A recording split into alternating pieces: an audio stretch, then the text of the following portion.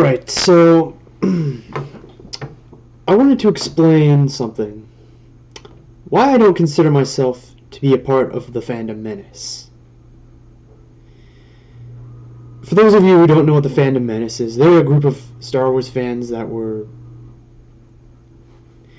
rose up against uh, Disney Star Wars uh, after The Last Jedi came out. One of my biggest problems with these people is they don't or big channels like geeks and gamers and world class bullshitters they always make it about freaking politics instead of Star Wars.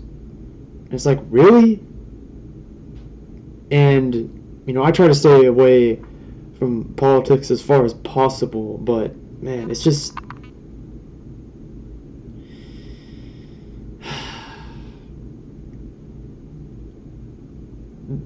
And what's the Fandom Menace? What's their goal, really? What are they fighting for?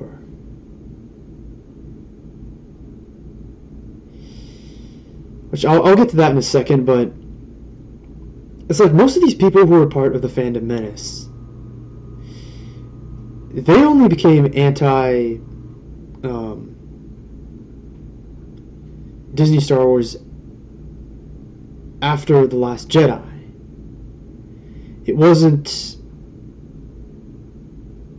like I was a skeptic since day one in 2012 because I was, of course, scared of the expanded universe being thrown out, and they did that. So, really, since 2014, I've been against Disney Wars.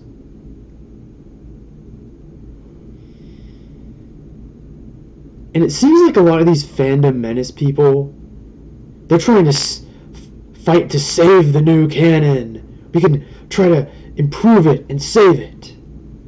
Well, I'm sorry, but I don't think the new canon can be saved.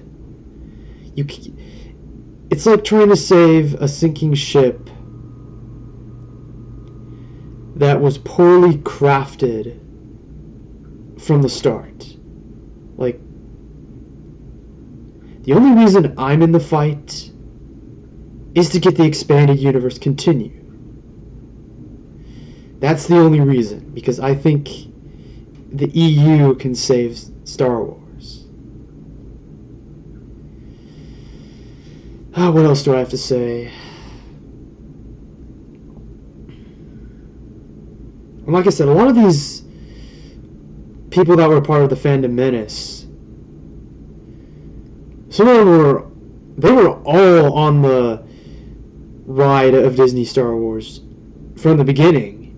And it wasn't until TLJ that they um, joined. And I don't know how many of these people were once prequel haters too. I'm sure there was some that were prequel haters so yeah, that's a short video why I just am not a real big fan of the Fandom Menace and why I don't consider myself to be a part of them. Oh, I have one more thing to say. So, yeah, I remember B level Star Wars and me. We said that the um, Fandom Menace, they're like the dark Jedi of the fandom, which it's a very interesting description, I, would say. So yeah, um, have a good day, people, and I'll see you guys around.